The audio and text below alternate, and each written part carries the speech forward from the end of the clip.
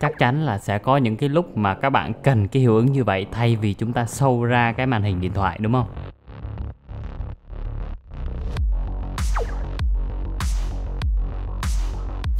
Hi, xin chào các bạn, lại là mình Dựa Hâu đây và chúng ta trở lại trong một cái video hướng dẫn về hologram về edit trên Adobe Premiere thì cái làm hologram này ở trên Premiere ấy, thì nó cũng đơn giản và rất là dễ à, phần lớn các bạn mà muốn tự làm theo kiểu để phục vụ cho công việc bình thường ấy thì vẫn xài cái tip này được tại vì nó dễ và cái hiệu quả nó cũng cao. Cơ mà nếu như các bạn muốn làm trên After Effects thì cũng được thôi mình sẽ kêu ờ, bộ câu nó làm một cái video hướng dẫn về cái này để cho các bạn ờ, tham khảo các bạn làm theo cho nó dễ ha. Hôm nay thì chúng ta làm trên Premiere trước. Uh, làm cái này thì nó cũng không khó lắm đâu các bạn chỉ cần biết một chút về basic 3D là được rồi và có một chút về mắt thẩm mỹ là ok. Rồi bây giờ chúng ta sẽ vào trong cái phần hướng dẫn ha. Bước đầu tiên chắc chắn là các bạn phải đồng bộ cái màn hình hologram với lại cái cảnh mà chúng ta lướt lướt cái ngón tay. Đương nhiên là khi mà lướt lướt ngón tay á, cái màn hình nó phải chạy đúng không? Chứ nó delay hay là nó chạy trước thì nhìn mắc cười lắm, không đúng lắm. Sau khi đồng bộ xong thì mình sẽ thêm một cái effect crop vào trong cái layer màn hình điện thoại. Sau đấy là mình sẽ canh kim thời gian đến cái cảnh mà mình chuẩn bị bấm vào trong cái đồng hồ ấy thì mình sẽ đặt một cái keyframe. Keyframe này ban đầu chắc chắn sẽ là 100 tại vì lúc này á, cái màn hình hologram nó chưa hiện lên mà đúng không? Mình phải cho nó biến mất đã. Rồi sau khi bấm lên cái tay xong thì chúng ta sẽ đưa cái thông số trở về bình thường. Đây các bạn xem cái kết quả này.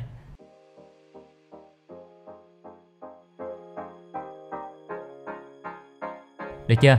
Và đương nhiên là để hai cái key này á, nó mượt hơn thì các bạn nên sử dụng is in hay là out gì đó để nhìn nó smooth hơn. Còn nếu để nó chạy bình thường thì trông nó hơi chán một tí. Ở đây á, khúc này thì thực tế là các bạn không cần phải xài crop đâu. Các bạn xài một cái transition bình thường cũng được. Miễn sao ở đúng lúc cái cảnh mà mình bấm lên trên cái màn hình à, của đồng hồ ấy, thì nó hiện lên cái hologram. Nhớ nha. Đương nhiên là sau khi cái hologram nó hiện lên thì mình cũng phải cho nó biến mất lại chứ, đúng không?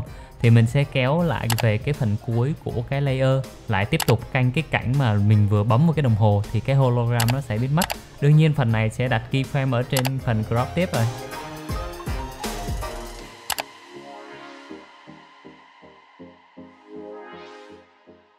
Ok, bây giờ thì mình sẽ chỉnh màu cho cái layer màn hình điện thoại nó tách một tí. Thì đương nhiên là có thể giảm Lumetri Color này. Các bạn kéo thêm một effect tên là Alpha Glow nữa. Cái effect này sẽ làm cho cái layer của các bạn á, nó có cái độ phủ xanh xanh bên ngoài. Nhìn nó rất là công nghệ, rất là tách luôn. Nhớ đổi màu nhé. Ở đây thì mình xài màu xanh Tại vì công nghệ thường thường nó dính tới màu xanh nhiều nhất. Đó, thì các bạn sẽ thấy được một kết quả khá là ngon lành.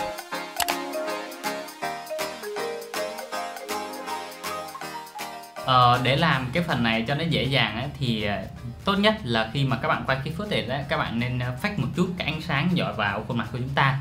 Thì cái kết quả và khi mà cái hologram hiện lên á nhìn nó sẽ ok nhìn nó sẽ tốt hơn nha. Chứ các bạn mà để nó bình thường không tự nhiên cái màn hình hiện lên mà không có ánh sáng gì ở trên mặt ấy thì nó trông nó hơi giả một tí. Nói chung các bạn cứ đầu tư cái lúc mà quay dựng một chút. Lúc hậu kỳ ấy thì nó sẽ dễ dàng hơn và nó đẹp hơn rất là nhiều chắc chắn với các bạn luôn. À, còn nếu như các bạn muốn học uh, hết tất cả kiến thức về Adobe Premiere Pro ấy thì có thể tham khảo qua khóa học biên tập Premiere của khóa D. Link thì mình sẽ để dưới. Còn bây giờ chúng ta vào trong cái phần tiếp theo làm cho cái phần hologram này nó đẹp hơn và nó giống thật hơn ha. Cái tiếp theo ấy thì nó hơi khó khăn một tí nhưng mà các bạn tập kéo một chút thì nó vẫn quen thôi đó chính là cái phần basic 3D khi mà bỏ basic 3D vào trong cái layer màn hình thì các bạn tinh chỉnh một chút cái thông số, nhìn làm sao cho nó giống như là một cái góc nghiêng 3D phần này sẽ phụ thuộc rất là nhiều vào cái mắt thẩm mỹ và cái hình dung và cái shape quay của bạn nó có phù hợp với lại cái 3D đó hay không nữa nha. Chứ không phải là chúng ta cứ quay xong rồi chúng ta cứ bỏ vào không đâu. Đương nhiên ở đây thì mình vẫn kết hợp với lại cái motion chứ basic 3D thì nó chỉ là giả làm sao cho nó 3D thôi. Một cái mà không thể thiếu để làm cái hologram của chúng ta nhìn nó thật hơn đó, đó chính là cái blending mode. Thì cái blend mode này á, các bạn có thể chuyển thành screen hoặc là các bạn giảm cái opacity của cái video xuống còn 80% thì chúng ta sẽ được một cái độ trong suốt nhìn nó sẽ hợp với lại hologram hơn. Và kết quả thì các bạn thấy là nhìn nó vẫn hơi giả Nên lúc này mình sẽ tách thêm một cái cánh tay của mình để đè lên cái hologram. Ở Cái đoạn nào mà mình sờ cái tay vào trên cái màn hình hologram ấy Thì mình sẽ cắt ra.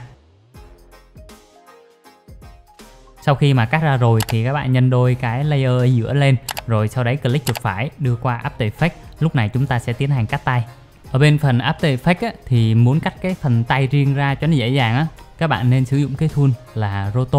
Sau khi chọn tool công cụ thì mình sẽ double click vào trong cái khung hình và chọn cái vùng chọn là cái tay. Thì cái roto này các bạn chỉnh về cái mục back để cái lúc mà nó tracking, nó sẽ cho ra một cái sản phẩm khá là tốt. Sau khi chọn xong được cái tay rồi ấy, thì lúc này mình sẽ bấm play để cho cái After Effects nó chạy, nó load, nó mask cái phần tay của mình lại sau khi xong, ok hết rồi, thì mình sẽ bấm cái freeze để nó đóng băng những cái frame này lại, để chắc chắn là mình sẽ không cần phải thay đổi nó nữa Và đây là cái kết quả sau khi chúng ta cắt bằng Roto ở bên After Effects. Bây giờ trở lại Reamer thì các bạn sẽ thấy cái kết quả nó khác liền.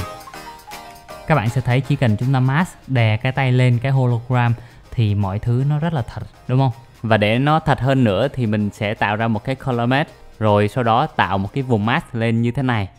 Tạo cho nó một cái chút uh, filter. Và sau đấy thì các bạn sẽ có một cái hình ảnh từ cái đồng hồ chiếu lên cái màn hình như thế này đúng không? Nó sẽ hợp lý hơn. Đương nhiên là các bạn vẫn phải giảm opacity rồi để nhìn nó hòa quyện với môi trường. Đó kết quả chúng ta sẽ được như thế này ở phần kết quả này nếu như mình được phép bỏ nhiều effect hơn bỏ được nhiều thứ hơn thì chắc chắn kết quả nó sẽ tốt hơn. Nhưng mà ở đây thì mình đi vài đường cơ bản cho các bạn biết thôi. Còn những cái còn lại thì các bạn tiên chỉnh làm sao cho nó phù hợp với lại cái nhu cầu của các bạn nha. Ok, như vậy là chúng ta kết thúc cái phần hướng dẫn ngày hôm nay rồi. Các bạn thấy thì nó khá là dễ dàng đúng không? Ừ, hiệu quả nó cũng cao. Chẳng qua là chúng ta setup ban đầu nó phải canh cho nó chuẩn một tí là ok rồi. Ok, bây giờ thì ờ, chúng ta sẽ tạm biệt nhau tại đây Và hy vọng là gặp các bạn trong một cái video khác về Dreamer. Bye bye.